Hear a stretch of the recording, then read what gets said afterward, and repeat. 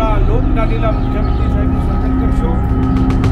હાર લાયા છે સાહેબ આખી ગુજરાતની અંદર એક ફુવારા અને ફુવારા પદ્ધતિમાં બનાસકાંઠા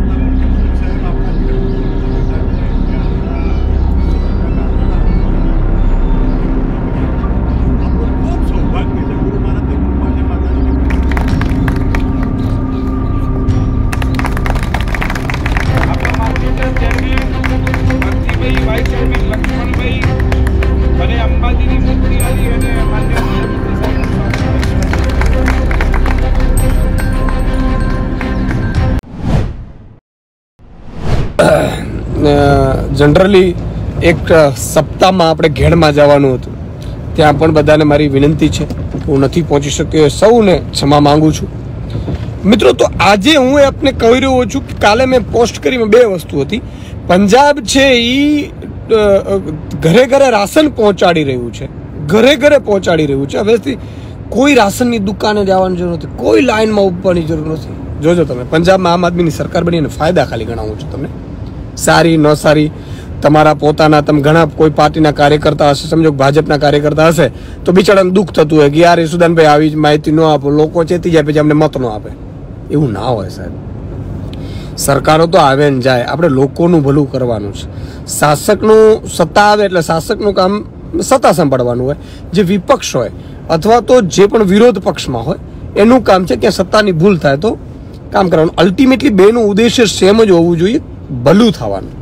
અત્યારે શું છે ખબર છે? સત્તાધારી છે એ કટકીઓ કરે, રાજ કરે, વિપક્ષને બોલવા ન દે, વિપક્ષમાં જેલમાં નાખી દે, વિપક્ષને ઉપાડીને નોટિસો પટકારે. તમે જુઓ, કેગે રિપોર્ટ આપ્યો કે મધ્યપ્રદેશમાં ચૌદસો કરોડની આસપાસનું કૌભાંડ થયું છે. ત્યાં નહીં જાય ઈડી. ઈડીના બાપની તાકાત નથી. ત્યાં સીબીઆઈ નહીં જાય. બરાબર? તમે વિચાર કરો કે રાજસ્થાનમાં એવું કહેતા હતા ભાજપ વડા કે પ્રચાર કરીને. હું એટલા માટે ભાજપના કાર્યકર્તાઓને કહું છું કે ભાજપને દેશપ્રેમ હોત. તો તો સત્ય છે એ સત્ય કરી લેત. એને દેશ પ્રેમ નથી અને સત્તાથી પ્રેમ છે. રાજસ્થાનમાં એવું કહેતા હતા પેપર માફિયાઓને છોડવામાં નહીં આવે. સાંભળજો. અહીંયા કેટલા પેપર લીક થયા છે? વીસથી વધુ પેપર લીક થયા છે. અહીંયા કોઈને કોઈને સજા થઈ તો કહો. અને જે પેપર લીક થયા છે, એમના માતા પિતાએ પણ ભાજપને મત આપ્યા પાછા. ભલે આપ્યા, મને વાંધો નથી, ખૂબ સારું.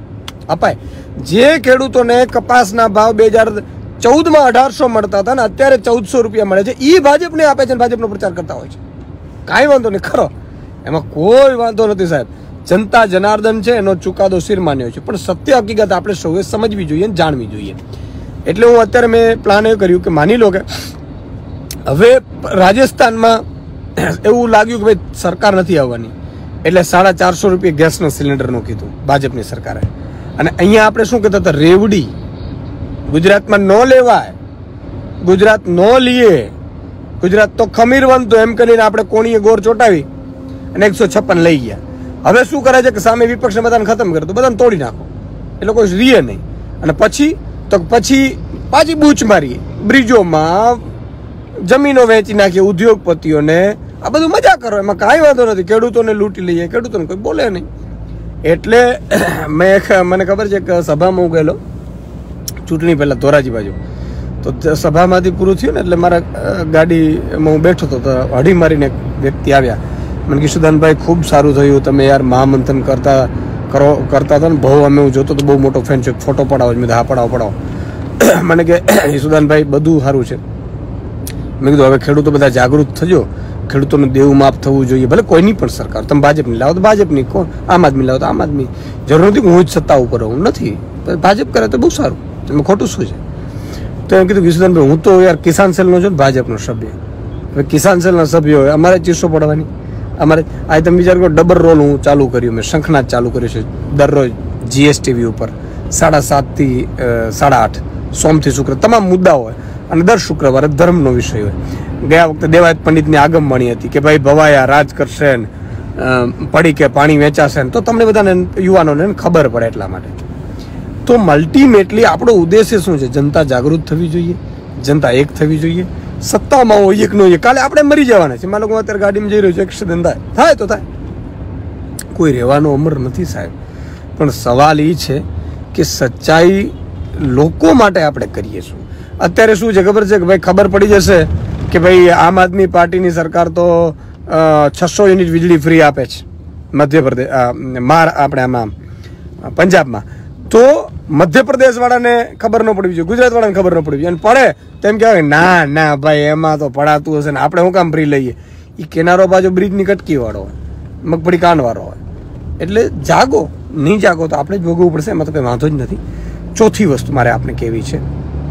મધ્યપ્રદેશમાં અહીંયા આપણે એવું કહેલું, આમ આદમી પાર્ટીની સરકાર બનશે. અને માન્ય અરવિંદ કેજરીવાલજીની નીતિઓ હતી કે સુદાન સંપૂર્ણ ભ્રષ્ટાચાર મુક્ત શાસન થવું જોઈએ. અને લોકોને, ગરીબોને, વંચિતો, શોષિતોને, મહિલાઓને મળવું જોઈએ, બેરોજગારોને. તો એમણે હજાર રૂપિયા દર મહિને મહિલાને આપવાનું નક્કી કર્યું. બરાબર છે? દર મહિને. અઢાર વર્ષથી ઉપરના માતા બેન દીકરીઓ હોય, માનો તમારા ઘરમાં, મારા ઘરમાં માનો ચાર મહિલાઓ અઢાર વર્ષથી ઉપરની છે, તો ચારે ચારને દર મહિને હજાર હજાર રૂપિયાના ખાતામાં પડી જાય. આપણે એવું નક્કી કર્યું કે ઉદ્યોગપતિઓને સહાયો આપે છે, બહુ મોટા ઉદ્યોગપતિને નથી આપવાની, આપણે ગરીબોને આપીશું. બરાબર છે? તો આ લોકોએ કીધું કે રેવડી નહીં ચાલે. ઉદ્યોગપતિઓ ડરી ગયા કે અમારી જે સબસિડીઓ આવશે એ બધી કાપી નાખશે આમ આદમી વડે. એટલે ઉદ્યોગપતિઓ બેફામ રૂપિયા વાપર્યા મેં સાંભળ્યું. બરાબર છે? ભાજપ વાળાને કીધું કોઈ પણ ભોગે છે સત્તા લઈ લેવી પડશે, નહીં તો આ લોકો ગરીબોને વંચિતોને, શોષિતોને આપશે. અમને કાંઈ નહીં આપે. અને ગરીબો, વંચિતો શોષિતોની કે મત પાંચ પાંચ હજાર બે હજાર રૂપિયા આપીને ખરીદી લ્યો. બરાબર? વન ટાઈમ વન ટાઈમ મત ખરીદી હશે, ખબર નહીં. ઘણા લોકોએ કીધું કે ભાઈ લોકો એવી રીતે મત આપતા હતા. ઠીક છે, ભલે આપ્યા. તો એ ન થયું. હવે સાંભળજો. મધ્યપ્રદેશમાં ભાજપની સરકાર આવી. એણે શું કર્યું? એને ખબર પડી કે મધ્યપ્રદેશમાંથી સરકાર જાય છે. એટલે એણે ત્યાં સાડા બારસો રૂપિયા આપવાનું શરૂ કર્યું. એમાં કોઈને પ્રોબ્લેમ નથી. મધ્યપ્રદેશમાં જો ભાજપ આપી શકતું હોય તો અહીંયા ગુજરાતમાં કેમ ન આપી શકે? રાજસ્થાનમાં સાડા પચાસસો રૂપિયા ગેસ સિલિન્ડર આપી શકતું હોય તો ગુજરાતમાં કેમ ન આપી શકે?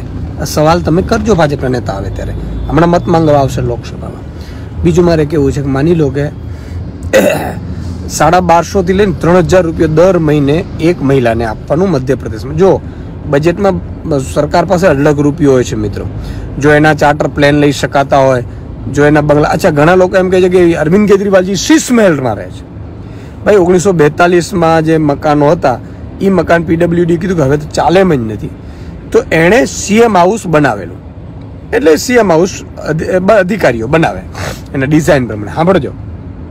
એ એલજીના એલજીનો પણ બંગલો બન્યો છે. એમાં રિનોવેશન થતું હોય, આનો સીધું હોય? આપણે ગુજરાતમાં સીએમ બંગલો બનેલો છે. આ તમને કહી દઉં. અને બીજું કે પ્રધાનમંત્રીએ ખુદે વિસ્ટા હાઉસ બનાવ્યું છે. પ્રધાન, સંસદ અલગ બનાવી, પ્રધાનમંત્રીનો આવાસ અલગ બનાવ્યું. તો આ કંઈ મુખ્યમંત્રી માનો અરવિંદ કેજરીવાલ કાલે મુખ્યમંત્રી નથી રહેતા ત્યાંના. ભાજપનો કોઈ આવ્યો કે બીજો આવ્યો, બીજી પાર્ટીનો આવ્યો, ત્રીજી પાર્ટીનો, તો એ રહીએ પણ અલ્ટિમેટલી એ એ મુખ્યમંત્રી નિવાસ છે. પોતાના ઘરનો બંગલો નથી. એટલે ઘણા લોકો હાલી નીકળ્યા છે. બુદ્ધિ જરા વાપરતા જઈએ આપણે. આક્ષેપ કરવું જોઈએ. સચ્ચાઈનો આક્ષેપ કરવો જોઈએ. ખોટું નહીં. માન લો કે આજે હું, વધુ વધુ મિત્રો શેર કરજો, જેથી વધુ લોકો આપણી સાથે જોડાઈ શકે.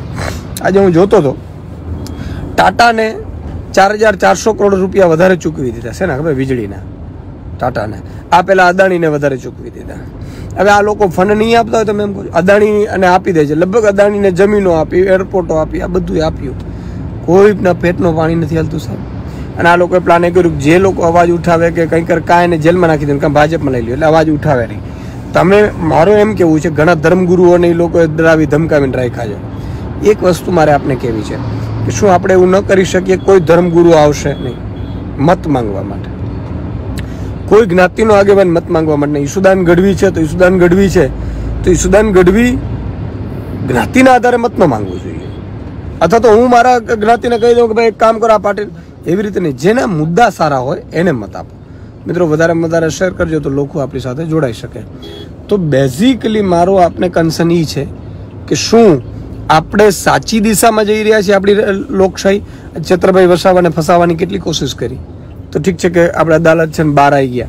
મનીષ સિસોદિયાજી એમ કહે છે કે જમાનત નથી મળતી, જમાનત કેમ નથી મળતી, જમાનત કેમ નથી મળતી? સુપ્રીમ કોર્ટે, ભાઈ બહાર અહીંથી નીકળવું પડશે સુપ્રીમ કોર્ટે, બરાબર, હવે પીએમએલએમાં એવું છે જે ઈડીમાં કે એને ટ્રાયલમાં એને પોતે નિર્દોષ સાબિત થવું પડે. ભાજપ સરકારમાં આવું થાય છે? ચૌદસો કરોડ રૂપિયા હાલે કેગે જ કીધું? હાલો ને, મધ્યપ્રદેશમાં કૌભાંડ થયું છે. ક્યાં ઈડી જશે? મુખ્યમંત્રી અંદર નાખશે? નહીં નાખે. આ લોકોને વિપક્ષ ખતમ કરી નાખવો છે. તાનાશાહી લાવી દેવી છે. અને બે હજાર ચોવીસમાં કે પાંચસો ને પાર ચારસો ને પાર ત્રણસો ને પાર ને, આ કોઈ સિસ્ટમ છે સાહેબ? અને છતાંય ભાજપના કાર્યકર્તાઓ આજે નથી સમજતા. યાદ રાખજો, કાલે પસ્તાશે. પસ્તાશો તમે, ખૂબ પસ્તાશો. શું કામ ખબર છે? નુકસાન તમને થવાનું છે. મને તો બી કહે છે કે ફરીથી ભાજપ સરકાર આવી ગઈ, તો ફરીથી પેલા ઉદ્યોગપતિઓના ત્રણ કૃષિ કાનૂન નહીં લાવે એની શું ગેરંટી ભાજપ વાળા મત માંગવા આવે તો પહેલા લખાણ કરી લો કે ભાઈ તમે કૃષિ કાનૂન પાછા નહીં લાવો એનું શું ગેરંટી સાતસો ખેડૂતો મૃત્યુ પામ્યા છે, ત્યાં, ટીકરી બોર્ડર પર. બરાબર છે? એનો વિરોધ કરતા કરતા. તો બેઝિકલી ખેડૂતો જોજો, કોઈ પણ ભાજપનો નેતા આવે, આપણી પાસે મત માંગવા આવે, મામો હોય, કાકો હોય કે ભાઈ વાત સાચી, તમે મામા છો. પણ આ લોકો તો બહુ જ ખરાબ છે અને લૂંટે છે. અને ન લૂંટતા હોય તો કે ભાઈ લઈ લ્યો, હાલો. ટેકાના ભાવથી બધો માલ લઈ લેવું જોઈએ, વ્યવસ્થિત ભાવ આપવા જોઈએ. યુરિયામાં નેનો બટકાવે, જો નેનો બટકાવા જાય, તો એ ભાજપની સરકાર છે, નરેન્દ્ર મોદી સરકાર છે. ડુંગળીમાં માન લો કે આપણે ડુંગળીનો ભાવ તળીએ ગયું, આપણે આંદોલનો કર્યા ફરીથી આપણે ભાજપને મત આપીએ, તો એ આપણી મૂર્ખામી છે, ભાજપની નથી. ભાજપવાળા તો ઈચ્છે જ. ભાજપવાળા તો હોશિયાર જ છે ભાઈ. શું કામ એ લોકોને પ્રોબ્લેમ થાય? તો મારી આપ સૌને વિનંતી છે કે સમજવાની કોશિશ કરીએ. આજે તમે જુઓ રાજસ્થાનમાં સરકાર બની છે. આંગણવાડી બહેનોને આંગણવાડી બહેનોને નોકરી અને પગારોના કારણે તમે વિચાર કરો ગેંગરેપો કરવામાં આવ્યા બધાએ બળાત્કારો કર્યા છે. આ તો હદુ કહેવાય યાર. અહીંયા બીજી એક ઘટના બની તમને કહું. પિયુષભાઈએ જે માંગરોળમાં છે, એમણે ભ્રષ્ટાચાર ખુલ્લો પાડ્યો તો એની સામે કોઈ એટ્રોસિટીની ફરિયાદ કરાવડાવે કરાવડાવી રહ્યા છે કે ભાઈ આ રજૂઆત ન કરવી જોઈએ. સાંભળજો તમે. બરાબર છે? એણે તો ભાઈ એણે કોઈ અને ખોટી ફરિયાદો કરાવડાવે છે. સાચી હોય તો બરાબર છે. જ્યારે બીજી બાજુ દલિત સમાજની એક મહિલાને સાહેબ ઢોર મારવામાં માં, આવ્યો છે, એમને ગુપ્તાંગ ઉપર માર મારવા આવ્યો છે, એની ફરિયાદ નથી લેતું પાંચ દિવસથી. આજે જ મેં હમણાં જ પોસ્ટ કરી છે. ત્યાં રાજસ્થાનમાં સરકાર બનતાની સાથે ગેંગરેપો ચાલુ કરતી હતા? શું થઈ રહ્યું છે, સાહેબ? વનિતાબેન કે જીસુદાનભાઈ ઈવીએમ મશીનનો બહિષ્કાર કરવો જરૂર જોઈએ હટી જાય, સાચી લોકશાહી આવે. બિલકુલ સાચી વાત છે. ઈવીએમનું આંદોલન ખૂબ ચાલી રહ્યું છે દિલ્હીમાં. અને ચૂંટણી આયોગે આ જોવું જોઈએ. નરેન્દ્ર મોદીને ચૂંટણી આયોગ મને નથી લાગતું કે ઈવીએમ હટાવડાવે. આ લોકો ઈવીએમ નથી હટાવડાવતા. લોકોને ઈવીએમમાં રસ નથી. સાહેબ જર્મની જ્યાં આ ટેકનોલોજી બનાવે છે આ. બરાબર?